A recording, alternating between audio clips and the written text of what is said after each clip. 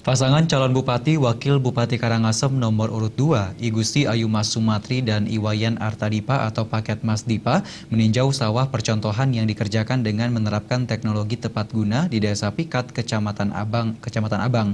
Mas Dipa menegaskan kedaulatan pangan di Kabupaten Karangasem mutlak diwujudkan bukan sebatas wacana karena program pertanian menjadi salah satu prioritas dalam Nawasatya Dharma 9 program unggulan Mas Dipa. Pasangan calon Bupati Wakil Bupati Karangasem nomor urut 2 Igusti Ayu Mas Sumatri Iwayan Artadipa atau Mas Dipa meninjau lahan percontohan milik kader Mas Dipa Imade Manis yang sukses dikerjakan dengan teknik jajar legowo. Teknik ini memiliki tingkat efisiensi tinggi baik dalam pemanfaatan luas lahan maupun air. Dengan teknik baru yang dikembangkan, terbukti mampu melipat gandakan produksi padi meskipun dalam kondisi kemarau berkepanjangan. Bahkan masa panen yang biasanya 110 hingga 120 hari dapat dipersingkat menjadi 90 hari. Dari awal uh, kuda penghasilannya? Penghasilan niki sanen namare puniki titiang boleh wantah satu karung. Satu karung beras. Iya. Namare. Namarenya.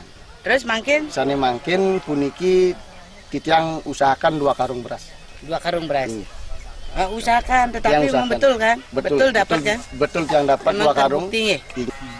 Di niki NF, titiang tandur cuman dua-dua. Dua biji. Dua, iya. Dua dua dua, Dua bulir bak- ya, dua iya, bulir. Iya, puniki.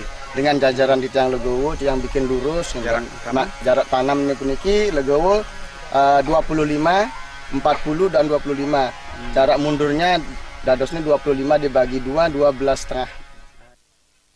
Calon Bupati nomor urut 2 Igusti Ayu Mas Sumatri sangat mengapresiasi kinerja kadernya yang terbukti berhasil mengembangkan dan menerapkan teknik pertanian guna melipat gandakan hasil pertanian. Dalam masa kepemimpinan di Karangasem 5 tahun ke depan, Mas Dipa akan mencetak secara masif petugas penyuluh lapangan PPL yang terdidik dan terlatih secara profesional sehingga dapat menjangkau seluruh petani di wilayah Karangasem. Pendidikan. Eh, Mas Dipa akan memperja- memperbanyak petugas PPL eh, untuk eh, mendidik petani sehingga petani itu menjadi eh, lebih sejahtera dan mampu bersaing dengan eh, masyarakat yang lainnya. Jadi mungkin saya tambahkan ke depan eh, ini yang akan kita terus lakukan. Jadi kalau sekarang rata-rata misalnya sawah menghasilkan 2 ton gitu misalnya ya, ke depan kita harapkan minimal 6 ton. Gitu. Paling tidak dari hasil yang sekarang mereka capai kita bisa lipat gandakan. Kita sudah punya tenaga ahli tenaga ahli yang barangkali bisa kita manfaatkan semaksimum mungkin untuk kepentingan para petani kita. Barangkali itu terima kasih.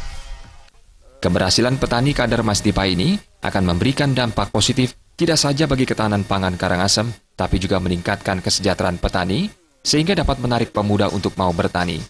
Jika ini terjadi, tentu angka pengangguran di usia produktif akan menurun. Penerapan pertanian berteknologi tepat guna seperti yang dikembangkan Mas Dipa secara berkelanjutan dapat mengubah lahan kritis menjadi lahan produktif. Seiring berkembangnya pertanian di Karangasem, diharapkan industri pariwisata dapat berkembang lebih pesat. Mas Dipa membawa Karangasem bangkit, bersih dan bermartabat. Tiang Made Manis saking pikat pendukung Mas Dipa petani. Tim Liputan Bali TV.